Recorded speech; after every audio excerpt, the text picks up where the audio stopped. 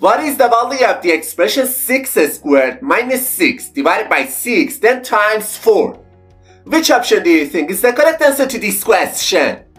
This expression is actually very easy but it tricks almost everyone. Let's break it down and solve it together.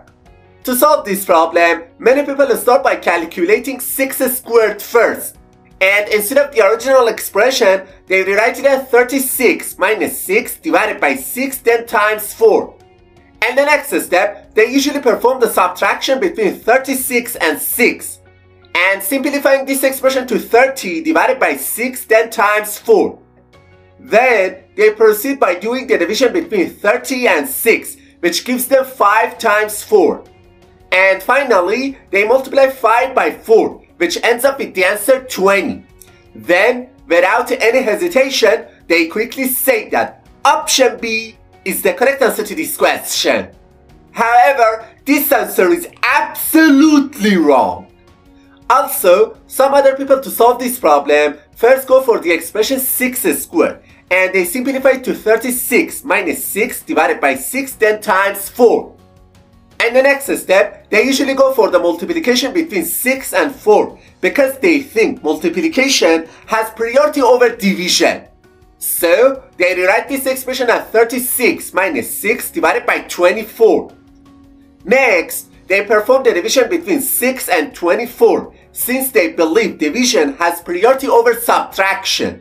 And they rewrite this expression as 36 minus 0.25 which ultimately gives them the answer 35.75.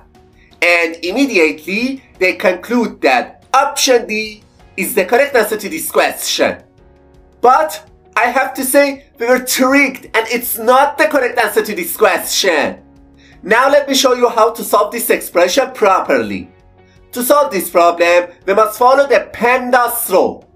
It means that we need to perform all the operations in order from top to bottom.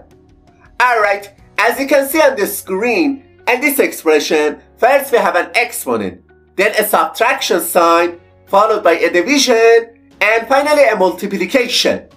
We should start with the exponent, because in this expression, exponent has a higher priority than the other operations.